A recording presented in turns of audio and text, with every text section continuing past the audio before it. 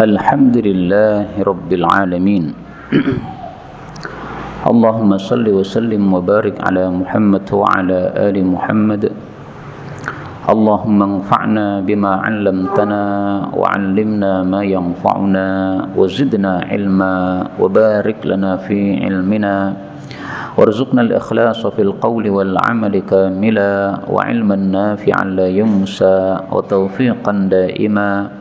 وصحة ويقينا وعافية اللهم افتح لنا كل خير اللهم اكفنا بحلالك عن حرامك وأغننا بفضلك عمن سواك آمين يا رب العالمين Alhamdulillah kaum muslimin rahimani wa rahimakumullah Kita lanjutkan pengajian tafsir Quran sehari sehalaman Dan kita sudah sampai pada halaman 204 Yaitu pada surah At-Taubah Ayat eh, 107 sampai 111 InsyaAllah ta'ala أعوذ بالله السميع العليم من الشيطان الرجيم من همزه ونفخه ونفثه الذين اتخذوا مسجدا ضرارا وكفرا وتفريقا بين المؤمنين وإرصادا لمن حارب الله ورسوله من قبل. وليحلفن إن أردنا إلا الحسنى والله يشهد إنهم لكاذبون. لا تقم فيه أبدا لمسجد أسس على التقوى من أول يوم أحق أن تقوم فيه. فيه رجال يحبون أن يتطهروا والله يحب المطهرين.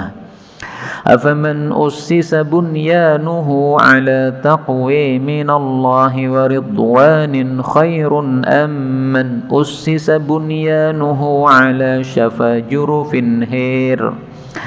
على شفا جرف هير فانهار به في نار جهنم والله لا يهدي القوم الظالمين. لا يزال بنيانهم الذي بنوا ريبة في قلوبهم إلى أن تقطع قلوبهم إلا أن تقطع قلوبهم. والله عليم حكيم. إن الله اشترى من المؤمنين أنفسهم وأموالهم بأن لهم الجنة. يقاتلون في سبيل الله فيقتلون ويقتلون وعدا عليه حقا في التوراة والإنجيل والقرآن. ومن أوفى بعهده من الله فاستبشروا ببيعكم الذي بايعتم به وذلك هو الفوز العظيم.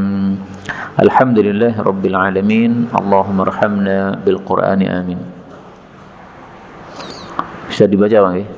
ini karena diubah anak-anak saya ini nggak paham nih. Pada ayat-ayat yang kita baca ini ada beberapa kata yang bisa dibaca dengan dua bacaan. Yang pertama pada ayat 107 walladzina. Nah, ini wawunya boleh dihilangkan menjadi alladzina karena kalimatnya sudah kalimat baru sehingga tidak pakai wawu enggak ada masalah ini. Kemudian pada ayat yang ke-109 ini ada assasa bunyanahu. Ini boleh dibaca usisa tapi kalau dibaca usisa otomatis bunyana menjadi bunyanu sebagai eh, apa namanya eh, apa lupa namanya ya. Nah, ada maf'ul ada apa lagi? Eh, dua kali ini usisa bunyanuhu ya. Kemudian ayat 110 illa ini boleh dibaca ila. Ila artinya sampai. Kalau illa kecuali. Ya. Tapi kalau dibaca ila maka di sini tetap taqatta'a. Kalau dibaca illa maka boleh tuqatta'a. Kemudian ayat yang ke-111 fayaqtuluna wa yuqtalun. Boleh dibalik. Fayuqtaluna wa yaqtulun.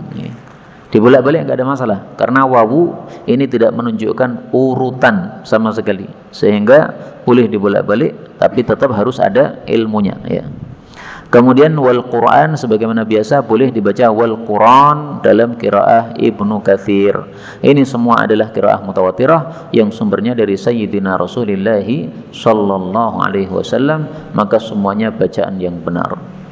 Adapun tafsir ringkasnya Allah katakan pada surah At-Taubah ayat 107 walladzina dan orang-orang yang ittakhadu membuat atau membangun masjid dan suatu masjid diraran untuk memadoroti yaitu memadoroti siapa? Kaum muslimin. Wa kufran dan karena kekafiran yaitu kepada Allah. Wa tafriqan dan untuk memecah belah bainal mu'minin di antara orang-orang beriman. Wa irsadan dan menunggu liman bagi orang yang haraballaha wa rasulahu telah memerangi Allah dan rasulnya min qabl sebelumnya yaitu sebelum dibangunnya masjid tersebut wala yahlifunna dan sungguh betul-betul mereka akan bersumpah in aradna sungguh tidaklah kami ya in aradna tidaklah kami menghendaki In artinya tidak karena di sini ada illa. In tidaklah aradna kami menghendaki illa kecuali al husna kebaikan. Wallahu dan Allah itu yashhadu bersaksi innahum sesungguhnya mereka lakadzibun sungguh orang-orang yang dusta. Kaum muslimin rahimani wa rahimakumullah. Ayat ini bicara tentang satu masjid yang dikenal dengan istilah Masjid Dirar Kenapa disebut masjid dirar? Karena masjid dibangun untuk dirar, untuk membuat madarat terhadap kaum muslimin. Jadi ceritanya begini. Rasulullah sallallahu alaihi wasallam itu sebelum membangun masjid Nabawi itu ada Masjid Kuba. Nah, Masjid Kuba ini sudah cukup untuk kampung Kuba situ. Tapi kemudian ada orang-orang munafik yang mereka membuat di dekat Masjid Kuba yang disebut Masjid Diror ini. Tujuannya bukan untuk mencari pahala tetapi untuk membuat madarat terhadap kaum muslimin. Karena tujuan mereka adalah tafriqan bainal mu'minin, memecah belah kaum muslimin. Sebelum ada masjid ini, otomatis semua orang di situ sholatnya di masjid Kuba Nah mereka membuat masjid yang baru tujuannya supaya terpecah kaum muslimin. Ada yang di Kuba, ada yang di masjid mereka. Kalau sudah terpecah, maka kalimat mereka terjadi tidak bersatu. Nah itulah yang disebut sebagai apa? Masjid dan diror. Karena itu siapa pun kaum muslimin membuat masjid dalam rangka memecah belah kaum muslimin itu sudah menyerupai masjid diror. Kalau bukan dalam rangka memecah belah, nggak apa-apa Misalnya ini masjidnya sudah penuh sehingga tidak cukup untuk semua orang. Akhirnya membuat masjid lagi di tempat yang agak jauh darinya. Enggak apa-apa. Atau di situ ada orang-orang yang tidak mau ke masjid. Ketika diajak ke masjid katanya terlalu jauh. Nah, maka karena alasan mereka terlalu jauh, sebenarnya ya tidak begitu jauh tapi yang namanya orang-orang yang malas sholat jamaah akhirnya dibuat masjid yang lain tujuannya adalah supaya yang malas-malas ke masjid tadi tidak punya alasan untuk malas ke masjid nah, dibuat masjid baru bukan dalam rangka memecah belah nggak ada masalah tapi kalau dalam rangka memecah belah ya orang cocok kayak karo masjid kayak nah, akhirnya membuat masjid baru tidak ada keperluan sama sekali selain untuk memecah ini sudah menyerupai masjid diror Apalagi masjid yang ada di kampung saya itu atau dekat kampung saya itu, masjid dengan masjid bersebelahan, cuma dipisah jalan saja. Ini jelas tafrik, ini jelas memecah belah kayak begini. Apalagi masjidnya gede pak, yang masjid awal itu. Terus mereka tidak mau sholat di situ, mereka maunya masjid sendiri. Akhirnya membuat masjid di utaranya masjid pas ini jelas-jelas tafriq bainal mu'minin, memecah belah kaum muslimin seperti ini, ini menyerupai Masjid Dirar. Meskipun tidak sama persis 100% ya. Kalau orang-orang munafik kan memang mereka kufron kafir kan, tapi orang-orang tadi masih muslim sebenarnya. Tapi tingkah mereka seperti tingkahnya munafik, yaitu tafriqan bainal mu'minin, memecah belah kaum muslimin. Nah, maka masjid yang seperti itu nanti kena hukum seperti masjid ini. Kita ambil beberapa faedah. Faedah yang pertama, yang dimaksud alladzina orang-orang yang membuat masjid diror ini adalah orang-orang munafik. Yang dimaksud ittakhadhu mereka membuat masjid diror ini pada saat Rasul sallallahu alaihi wasallam pergi untuk perang Tabuk. Maka mereka diam-diam membuat masjid baru, masjid diror ini. Tapi Rasul sallallahu alaihi wasallam mendapatkan wahyu dari Allah Subhanahu wa taala Akhirnya sepulang dari perang Tabuk, Rasulullah mendapatkan wahyu untuk merobohkan Masjid Diror. Sehingga pulang dari perang Tabuk, Masjid Diror dirobohkan oleh Rasulullah sallallahu alaihi wasallam. Nah, maka kalau ada masjid-masjid yang bersifat seperti ini, ini semestinya pemerintah yang merobohkannya supaya umat Islam tidak berpecah-pecah seperti itu. Jangan kita yang merobohkan, okay? Kalau kita merobohkan malah perang sesama muslim nanti yang dimaksud uh, irsa dan menunggu orang yang memerangi Allah. Maksudnya adalah menunggu seorang tokoh munafik yang namanya Abu Amir Ar-Rahib. Dia ditunggu akan datang ke masjid tersebut. Kalau dia sudah datang ke masjid tersebut nanti akan memimpin satu makar untuk berbuat madarat terhadap Rasulullah sallallahu alaihi wasallam dan kaum muslimin jadi mereka menunggu nanti akan datang Abu Amir Ar-Rahib. Siapa Abu Amir Ar-Rahib ini? Abu Amir Ar-Rahib ini adalah bapak dari seorang sahabat Nabi yang sangat mulia namanya adalah Hangzalah Al-Ghasil. Hangzalah yang dimandikan oleh malaikat. Kenapa dia disebut al-ghusil dimandikan oleh malaikat? Karena saat dia sedang hubungan suami istri mendengar perintah Nabi untuk berangkat jihad. Akhirnya dia tergesa-gesa ambil pedangnya untuk segera berangkat jihad, belum sempat mandi junub. Ternyata mendapatkan kemuliaan mati syahid. Akhirnya Allah suruh para malaikat untuk memandikan jenazahnya karena dia tadi belum mandi junub maka disebut hangdolah al-ghusil hangdolah yang dimandikan oleh para malaikat sahabat Nabi sangat mulia mati syahid dimandikan malaikat bapaknya munafik Pak karena itu jangan heran kalau muncul dari seorang kiai anak yang mursal, anak yang beling. Ya kayak begini. Nabi Nuh saja anaknya Kanan kafir. Istrinya juga kafir. Nabi Ibrahim saja bapaknya kafir. Nabi Muhammad SAW pamannya Abu Talib matinya mati kafir.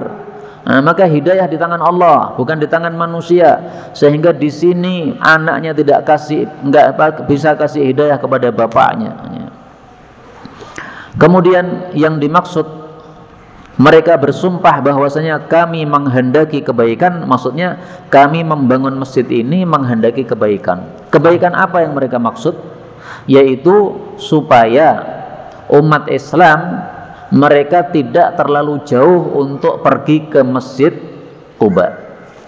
Jadi alasannya supaya yang ke Masjid Kuba itu yang dekat-dekat saja yang paling yang sangat dekat.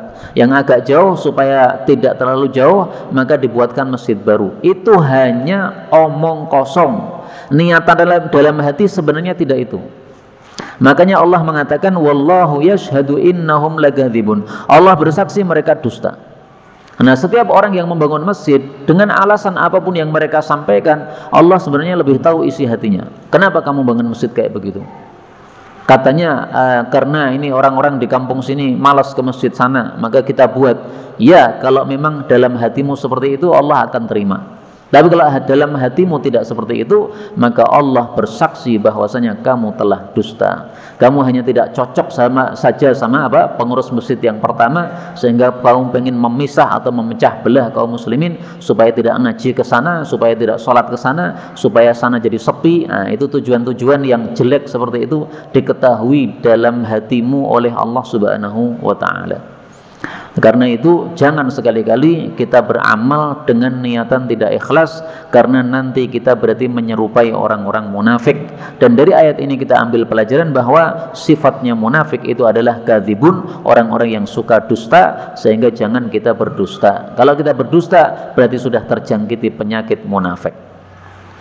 Kemudian apa pesan Allah untuk Masjid Dirar ini?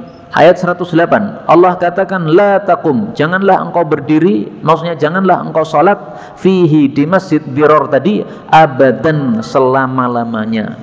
Nah maka kalau ada masjid yang sifatnya begini nggak usah salat di situ Pak. Seperti masjid yang saya ceritakan di kampung saya tadi itu ya.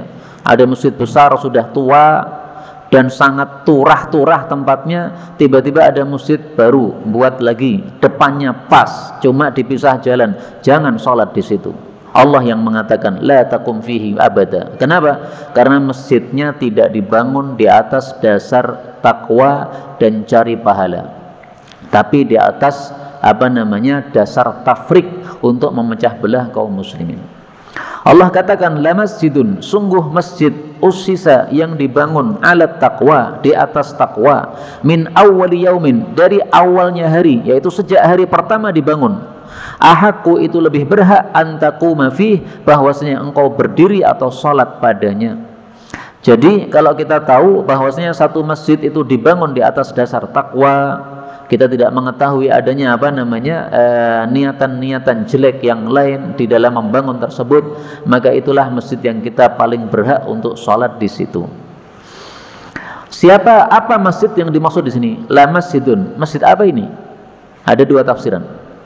Sebagian ulama mengatakan yang dimaksud masjid di sini adalah masjid Kuba karena tadi kan mereka membangun di dekat masjid Kuba berarti yang dimaksud di sini apa? Masjid Kuba dan tafsiran ini sangat kuat karena kalimat berikutnya Allah mengatakan fihi di dalam masjid tersebut rijalun ada beberapa orang yuhibbuna yang mereka senang ayyatatahharu untuk bersuci.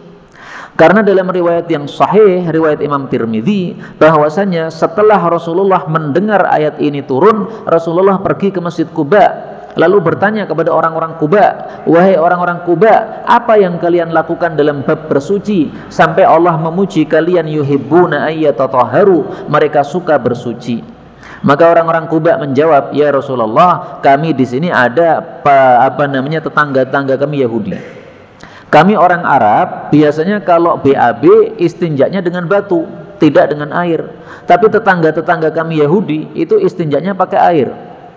Nah kita mengira bahwasanya air itu lebih bersih daripada dengan batu. Akhirnya kita meniru sikapnya Yahudi tadi. Maka Rasulullah kemudian mengatakan, itulah sebabnya Allah memuji kalian fihi rijalun yuhibbuna ayyatatahharu. Nah alhamdulillah kita orang Indonesia pun kita sudah biasa istinja dengan apa? air. Berarti kita sudah termasuk mengamalkan ayat ini. Dalam hadis itu disebutkan tapi riwayat yang lain, riwayatnya Bazar, bahwasanya orang-orang Kuba mengatakan kami uh, biasanya menggabungkan antara batu dengan air. Jadi setelah BAB selesai, kami bersihkan dengan batu. Setelah bersih, kami tambahi dengan air. Maka tambah bersih lagi. Nah, tambahan ini yaitu batu plus air ini dhaif, tidak sahih. Yang sahih adalah hanya pakai air saja. Tapi dari sisi fikih, para ulama mengatakan istinja itu memang tiga tingkatan. Yang pertama paling bagus adalah istinja dengan batu dulu, setelah itu baru dengan air. Kenapa itu lebih utama? Karena kalau dibersihkan dengan batu dulu, maka tangan kita tidak langsung mengenai kotoran. Karena kotorannya sudah diambil oleh batu tadi. Nah, kalau Indonesia nggak usah pakai batu lah, pakai tisu. Kemudian setelah pakai tisu, baru kemudian pakai air. Tingkatan yang kedua adalah istinja dengan air saja, tidak pakai tisu. Tingkatan yang ketiga adalah istinja dengan tanpa air, pakai tisu atau pakai batu, boleh, nggak ada masalah. Jadi kalau panjenengan pas lagi kedinginan, kemudian susah untuk menggunakan air, panjenengan pipis, maka tidak usah pakai air, nggak apa-apa, pakai tisu saja, boleh. Meskipun ada air, sepakat para ulama, boleh pakai tisu padahal ada air. Sepakat para ulama boleh istinja setelah BAK atau BAB dengan tisu meskipun ada air, tapi tingkatannya paling rendah tadi. Pendapat yang kedua, masjidun ini adalah Masjid Nabawi. Dan ini juga punya dalil diriwayatkan oleh Imam Muslim bahwasanya Abu Sa'id Al-Khudri sahabat Nabi bertanya kepada Rasul sallallahu alaihi wasallam, "Ya Rasulullah, masjid apa sih yang dibangun di atas takwa?" Maka Rasulullah mengambil satu genggam kerikil lalu beliau melemparkan ke tanah kemudian mengatakan huwa masjidukum hada itu adalah masjid kalian ini yaitu Nabi waktu itu berada di Masjid Nabawi Nah ini dua-duanya sahih terus gimana ini? Kompromikan. Sebab turun ayat ini adalah Masjid Quba. Karena waktu itu Masjid uh, Diror dibangun di dekatnya Masjid Quba. Tetapi kalau Masjid Quba itu dibangun di atas takwa, pasti dan pasti Masjid Nabawi lebih dibangun di atas takwa. Siapa yang membangun Masjid Nabawi? Rasulullah. Siapa yang membangun Masjid Quba? Kaum muslimin. Kalau kaum muslimin membangunnya di atas takwa, otomatis Rasulullah lebih takwa kepada Allah Subhanahu wa taala daripada yang lain. Nah, makanya Masjid Nabawi sudah masuk di sini karena yang membangun adalah Rasulullah sallallahu alaihi wasallam. Kemudian di sini Allah mengatakan wallahu yuhibbul mutahhirin dan Allah itu menyukai orang-orang yang bersuci. Karena itu kalau kita berwudu Allah suka sama kita karena berwudu itu termasuk bersuci. Bersuci itu ada tiga. Satu, mandi. Ini bersuci dari hadas besar. Yang kedua, berwudu. Ini bersuci dari hadas kecil. Yang ketiga, tayamum. Ini bersuci dari hadas besar dan kecil ketika tidak ada air atau tidak boleh menggunakan air. Tambah satu lagi bersuci berarti keempat yaitu menghilangkan najis yang mengenai kita baju kena najis dihilangkan dengan air tangan kena najis dihilangkan dengan air nah, ini semuanya bersuci kalau mau ditambah satu lagi bersuci tapi bukan dalam bab fikih tapi dalam bab tasawuf yaitu mensucikan hati dari kotoran-kotoran hati. Maka totalnya ada lima bersuci tapi yang berkaitan dengan fikih ada empat yang satunya berkaitan dengan ilmu tasawuf. Itu semuanya yang bersuci itu disukai oleh Allah subhanahu wa ta'ala. Karena itu kalau ada najis segala bersuci kalau kita sudah wudhu untuk sholat maghrib, kemudian nanti sholat isya belum batal, kita wudhu lagi, pahala double, bagus. Berwudhu padahal masih suci, bagus, tidak ada masalah. Meskipun hadisnya dhaif, tetapi maknanya benar. Dalam hadis yang dhaif disebutkan, "Man tawaddaa ala tuhrin," barang siapa yang wudu padahal masih suci, maka akibatnya apa? Akibatnya dia mendapatkan pahala kutibalahu ashru hasanat mendapatkan pahala 10 kali lipat hadis riwayat Abu Dawud derajatnya dhaif dhaif tapi kok kamu katakan apa maknanya sahih? Karena dalam ayat Al-Qur'an surat Al-An'am nanti dilihat Allah mengatakan siapa yang melakukan kebaikan dia mendapatkan berapa? 10 pahala. Wudhu kan kebaikan kan? Ya berarti benar 10 pahala. Adapun orang-orang mengatakan al wudu nurun ala nurin, al wudu ala tuhrin nurun ala nurin. Wudu padahal masih suci itu adalah sinar di atas sinar. Itu bukan sabda Nabi, itu hanya perkataan orang. Dan perkataan itu juga benar karena kalau kita berwudu nanti kita akan cemerlang besok di akhirat. Lah ini sudah wudu masih suci, wudu lagi karena sholat yang kedua Nah, maka ini berarti sinar di atas sinar. Tapi jangan wudhu lagi kalau belum digunakan untuk sholat. Nih. Misalnya jam setengah enam panjenengan sudah wudhu. Kemudian berangkat ke masjid sini belum adzan. Panjenengan nunggu di luar situ. Begitu adzan dikumandangkan, panjenengan wudhu lagi. Enggak benar.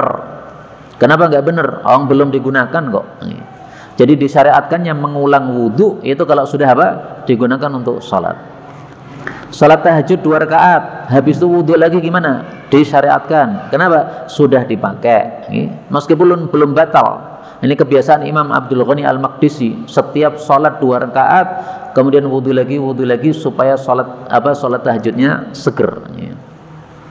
109. Afaman, maka apakah orang yang assasa bunyanahu mempondasi bangunannya ala taqwa di atas taqwa minallahi dari Allah waridwanin dan di atas ridho dari Allah khairun lebih baik amman ataukah orang yang assasa bunyanahu mempondasi bangunannya ala syafa jurufin di atas tepi dari uh, sumur harin yang akan ambrol atau akan jatuh fanharobihi lalu jatuh bersama dia fi nari jahannam di dalam neraka jahannam. Wallahu la yahdil qaumadh zalimin dan Allah tidak memberi hidayah kepada kaum yang zalim. Ini Allah bandingkan Pak. Masjid Kuba dan Masjid Nabawi dibangun dengan dua tujuan. Satu karena takwa kepada Allah Subhanahu wa taala ingin ibadah sama Allah maka bangun masjid. Tujuan yang kedua untuk mendapatkan ridho Allah subhanahu wa ta'ala. Apakah itu lebih baik atau orang yang membangun masjid tapi masjidnya itu di atas tepi sumur yang akan ambrol? Ini. Ada sumur. Juruf itu adalah sumur yang belum ada uh, apa dindingnya. Itu namanya juruf juruf nih di situ ada sumur, kemudian ada orang bangun di sampingnya sumur tadi, di tepinya. Padahal ini hampir ambrol. Sehingga kalau kita sholat di situ, khawatir tiba-tiba ambrol, kita masuk ke dalam sumur, kemudian keruntuhan oleh bangunan masjid, mati fanharo bihi finar jahannam. Akhirnya jatuh sampai ke dalam neraka jahannam. Ini maksudnya Allah adalah orang-orang munafik tadi. Mereka dihantarkan dari kemunafikannya atau dengan kemunafikannya ke dalam neraka jahannam. Jadi membangun masjid tapi tidak masuk surga tapi membangun masjid malah masuk neraka jahannam. Kok bisa ya membangun masjid tapi malah masuk neraka? Karena bangun masjidnya tidak karena dasar takwa tadi bukan untuk cari pahala tapi untuk tujuan yang lain ya. karena itu kaum muslimin saya memberikan tazkirah peringatan jangan sekali-kali anda membuat pengajian dalam rangka menandingi pengajian yang lain nggak ada nilainya di hadapan Allah subhanahu wa ta'ala karena dulu ada model begitu okay? Kita membuat kajian di satu masjid disebar tanggalnya nah, maka ada kelompok yang tidak suka itu membuat kajian di masjid yang sebelahnya. Tanggalnya disama-samakan dipas-paskan. Ngundang ustadz yang tenar ke sana.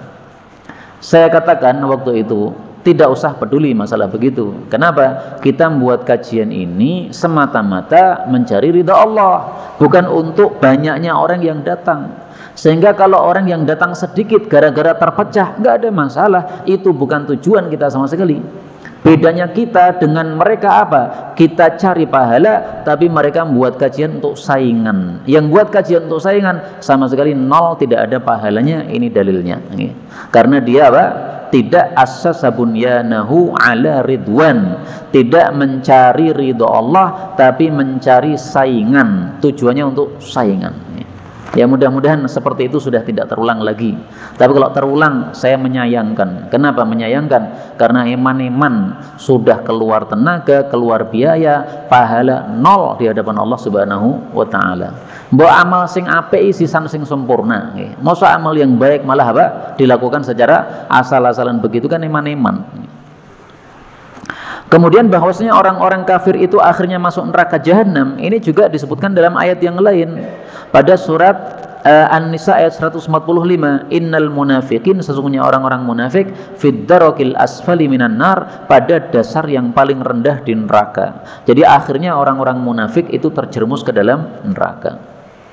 110 La yazalu tidak henti-hentinya bunyanuhum bangunan mereka alladzi banau yang mereka bangun ribatan menjadi keraguan-raguan fi qulubihim di dalam hati mereka illa kecuali antaqatta'a bahwasanya terputus qulubuhum hati-hati mereka.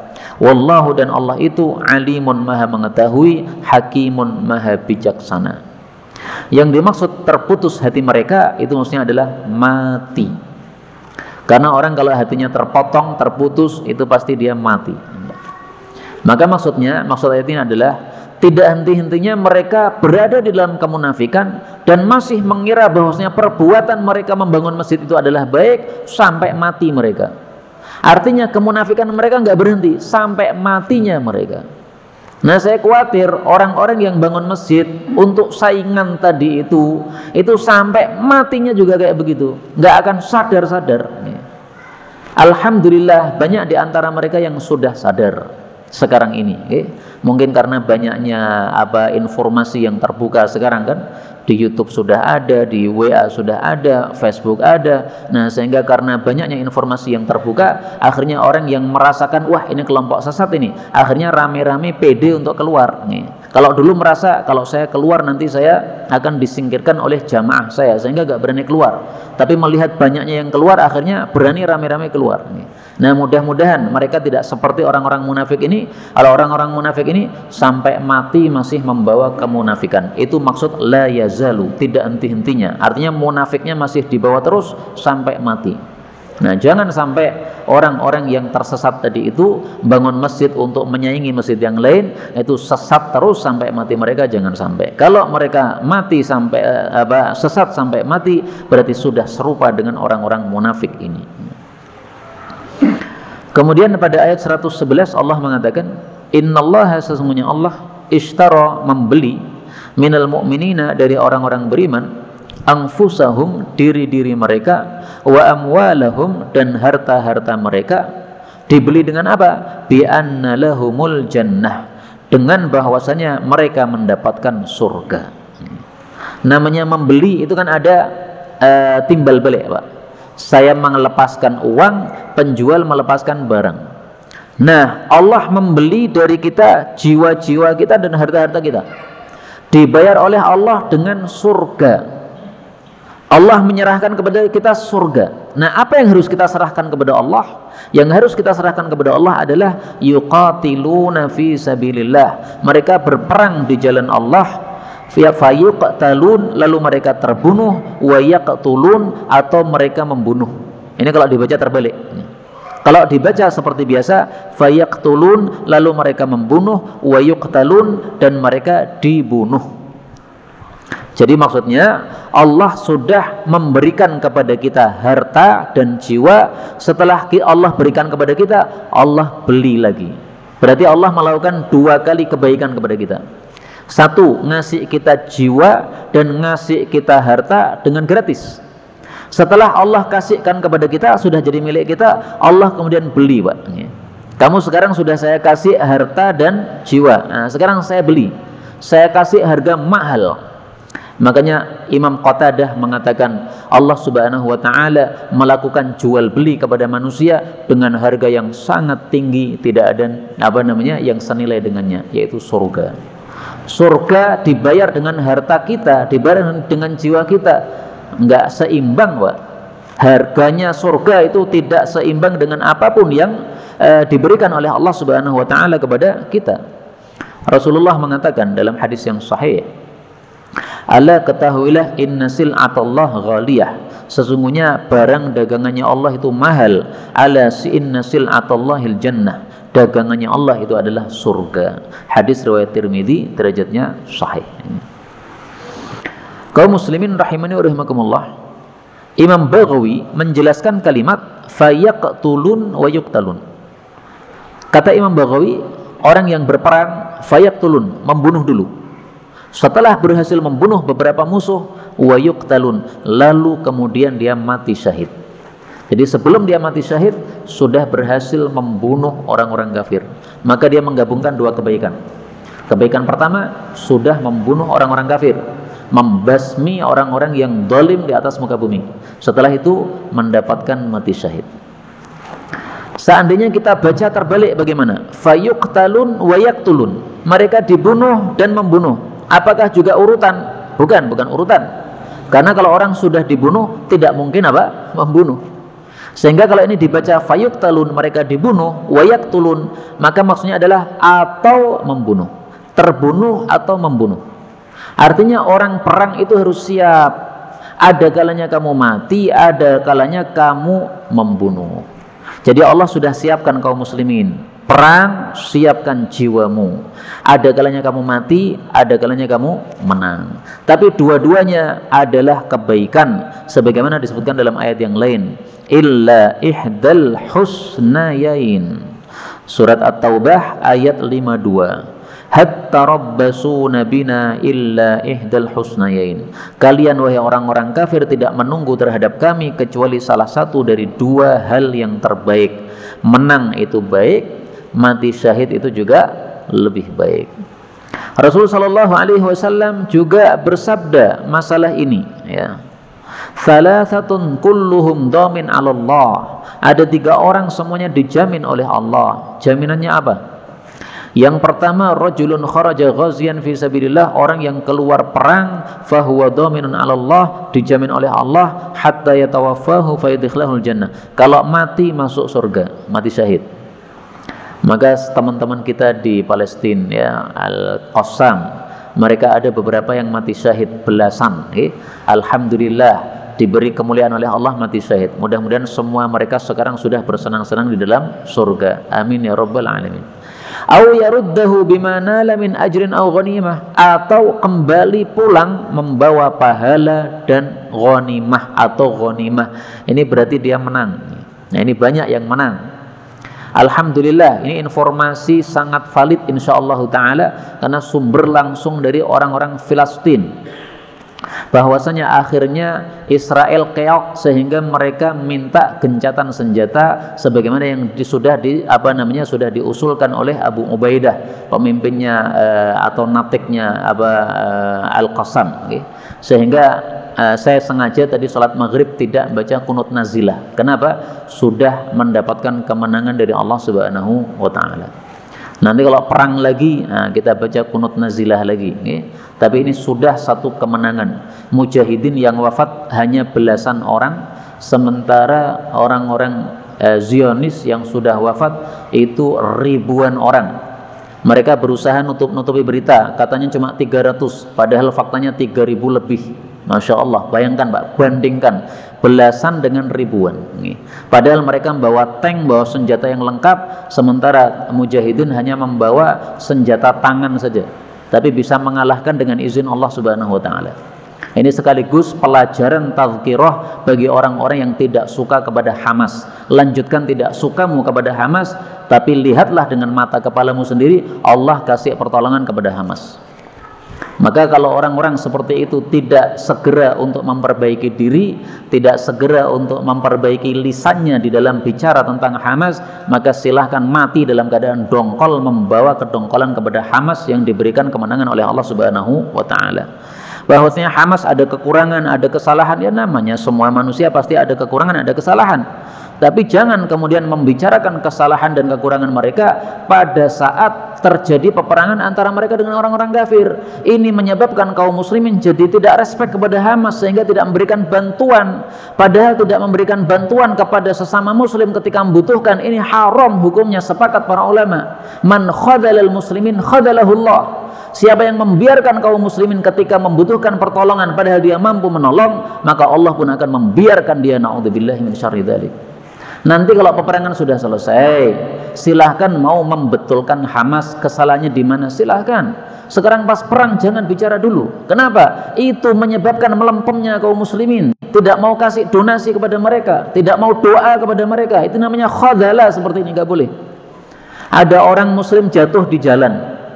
Kemudian kita mengatakan, ini orang muslim sukanya ini padu sama istrinya, nggak usah ditolong, ngawur kamu. Ini sekarang dia jatuh dan dia sekarang dia seorang muslim, bantulah dia. Setelah dibantu sam, ditolong sampai rumah baru dinasihati. Pak, rasa padu terus karo bojomu Kalau padu terus malah susah sendiri. Sekarang kamu jatuh sakit, ternyata juga butuh kepada eh, perawatan dari istrinya. Nah, baru dinasihati begitu. Jangan pas jatuh malah dibiarkan. Namanya khodala, orang nggak paham kayak begini. Kemudian Allah mengatakan di sini wa'dan alaihi sebagai janji atas Allah hakkan kebenaran. Maksudnya ini sudah menjadi janji Allah dan pasti Allah menepati. Karena Allah sifatnya tidak pernah menepati, eh, tidak pernah apa, merusak janji. Dan janji itu fit Taurati dalam kitab Taurat, wal Injil dalam kitab Injil, wal Quran dalam kitab Quran. Jadi ternyata kitab Taurat, Injil, Quran isinya sama. Ada perintah jihad memerangi orang-orang kafir. Dan dijanjikan sama yaitu surga. Maka kalau sekarang kitab Taurat dan Injil tidak ada perintah jihad, berarti sudah palsu itu Taurat Injil. Ini Quran membuka kepada kita isinya Taurat Injil. Salah satunya apa? Perintah jihad dan siapa yang jihad masuk surga. Janji dari Allah Subhanahu wa taala. Dan itu sebenarnya kita temukan dalam ayat yang lain ya. Pada surat Al-Maidah ayat 23 nanti silahkan dilihat. Di situ ada udkhulu alaihimul bab wahai Bani Israel masuklah kepada Jababirah kepada Jabarin ke dalam pintu Baitul Maqdis fa idza dakhaltumuhu fa kalau kalian masuk ke sana kalian pasti akan menang ini kata-kata menang berarti perintah perang ini tapi sayangnya Bani Israel waktu itu ngengkel mereka tidak mau berangkat perang mereka katakan wah Jabarin itu orangnya keras-keras mereka kokoh-kokoh mereka kami nggak mau kalau kamu perang silahkan kamu berangkat sendiri sama Allah. Orang ngajarnya kepada Nabi Musa. Nabi Musa suruh perang sendiri sama Allah Subhanahu wa taala. Kemudian Allah mengatakan waman aufa dan siapakah orang yang lebih menyempurnakan biahdihi janjinya minallahi daripada Allah? Ini pertanyaan nggak butuh jawaban karena tidak ada yang lebih menyempurnakan janji daripada Allah Subhanahu wa taala. Kalau manusia sering kali berjanji tapi tidak menyempurnakan janjinya. Kalau Allah pasti fastabshiru maka bergembira bergembiralah kalian bibai'ikum dengan jual beli kalian alladzi bay'atum bih yang kalian telah berjual beli dengannya kepada Allah Subhanahu wa taala. Wa dan itulah huwal fauzul azim keberuntungan yang besar. Yang dimaksud keberuntungan yang besar adalah masuk surga maka keberuntungan yang hakiki itu adalah kita di akhirat besok tidak masuk neraka tapi masuk surga. Nah, Alhamdulillah akhir pembahasan kita adalah al-fauzul azim, keberuntungan yang besar. Maka kita tafaulan, mudah-mudahan akhir hayat hidup kita nanti mendapatkan husnul khatimah sehingga kita juga mendapatkan fauzul azim. Amin ya rabbal alamin. Inilah yang dapat disampaikan betul dari Allah. Kalaupun ada salahnya fa astaghfirullahal azim li wa lakum walhamdulillahi rabbil alamin.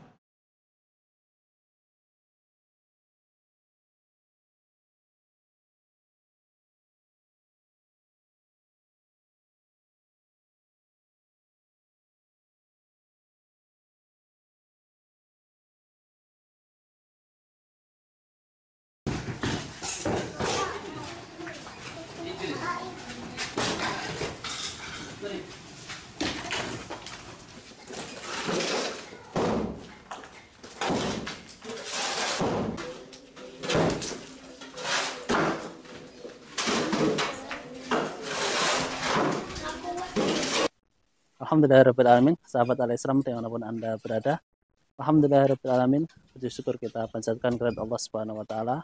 Untuk kali ini kita bertemu kembali dalam rangka update pembebasan lahan dan bangunan untuk studio Al-Islam TV sahabat al-Islam di mana pun anda berada Alhamdulillahirrahmanirrahim untuk sampai saat ini sudah terkumpul 305 juta rupiah. Kami ucapkan terima kasih jazakumullah khairan sebanyak-banyaknya kepada antum semua yang telah ikut berpartisipasi dalam kebaikan ini. Namun demikian, kami masih mengharapkan partisipasi antum semua untuk memenuhi kekurangannya yaitu sebesar 45 juta rupiah supaya pembayaran dan pembebasan lahannya bisa tepat waktu sesuai yang kita janjikan. Sahabat Alislam TV di mana pun Anda berada, sampai saat ini kami masih membuka peluang bagi Anda semua untuk ikut berpartisipasi. Insya Allah ini akan menjadi amal jariah kita semua. Saat ini untuk bangunan dan lahan ada di belakang saya. Insya Allah di lokasi inilah yang akan kita renovasi untuk kita jadikan markas untuk taklim, berbagi ilmu, dan menyiarkan kajian-kajian dari ustadz-ustadz kita yang tercinta. Barakallahu fikum. Assalamualaikum warahmatullahi wabarakatuh. Awas,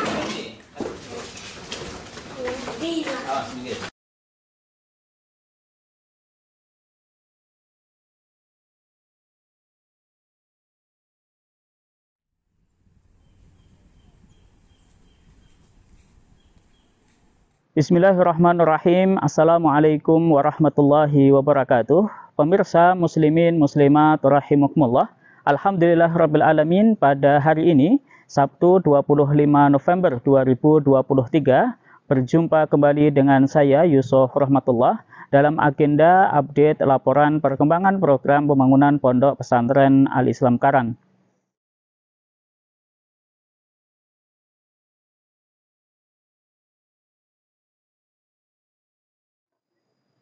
Pemirsa muslimin muslimat rahimakumullah, sebelumnya saya mohon maaf yang sebesar-besarnya karena selama beberapa bulan tidak bisa menyampaikan uh, laporan perkembangan program pembangunan Pondok Pesantren Al-Islam Karan ini uh, dan saya tetap uh, memohon doa dari muslimin semuanya. Mudah-mudahan Allah segera memberikan kesehatan yang sempurna untuk saya dan juga untuk kaum muslimin yang sedang diuji sakit oleh Allah Subhanahu wa taala. Pemirsa muslimin muslimat rahimakumullah, izinkan pada kesempatan kali ini saya menyampaikan uh, laporan perkembangan program pembangunan Pondok Pesantren Al-Islam Karang. Pemirsa muslimin muslimat rahimakumullah, sebagaimana yang kita saksikan, ini di belakang saya uh, sedang berlangsung pembangunan lantai 2 menuju ke lantai 3 asrama putri Pondok Pesantren Al-Islam Karang. Pemirsa muslimin muslimat rahimakumullah, alhamdulillah alamin sampai hari ini sebagaimana yang kita lihat uh, sebanyak 28 tiang yang besar sudah uh, selesai pengecoran tinggal satu tiang yang insya Allah akan kita selesaikan uh, hari ini dan juga besok dan juga masih ada sebanyak lebih enam tiang di bagian teras yang insya Allah akan kita selesaikan dalam satu pekan ini.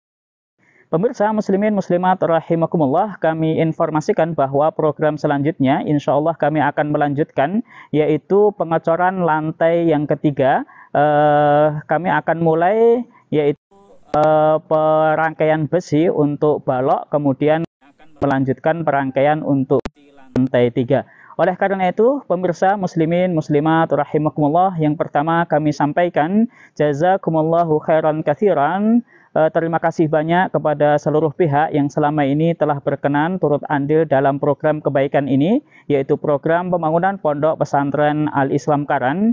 Kami hanya bisa mendoakan mudah-mudahan semuanya uh, yang telah turut andil dalam program kebaikan ini diridai oleh Allah Subhanahu wa taala dan mudah-mudahan berapapun dan apa pun yang diperbantukan untuk kepentingan pembangunan pondok pesantren Al-Islam Karan ini uh, mudah-mudahan kelak menjadi tabungan uh, yang senantiasa mengalirkan pahala untuk kita semuanya. Amin amin ya rabbal alamin. Pemirsa muslimin muslimat rahimakumullah, yang kedua kami sampaikan bahwa kesempatan untuk turut andil dalam melanjutkan program pembangunan Pondok Pesantren Al-Islam Karan ini masih terbuka lebar bagi siapa pun dan di mana pun. Pemirsa muslimin muslimat rahimakumullah, uh, mari kita bersama-sama dalam kebaikan ini. Mudah-mudahan Allah Subhanahu wa taala meridai kita semuanya dan mudah-mudahan Allah Subhanahu wa taala memudahkan urusan kita baik urusan dunia maupun urusan akhirat. Amin amin ya rabbal alamin. Pemirsa muslimin muslimat rahimakumullah, kiranya sekian dan demikian informasi dan laporan yang kami sampaikan sebagai wujud pertanggungjawaban kami amanah donasi yang diamanahkan kepada kami. Insya Allah kita akan uh, berjumpa di lain kesempatan. Mohon maaf yang sebesar-besarnya bila ada kekurangan dalam kami menyampaikan laporan ini. Akhirul kalam, saya Yusuf Rahmatullah. Wassalamualaikum warahmatullahi wabarakatuh.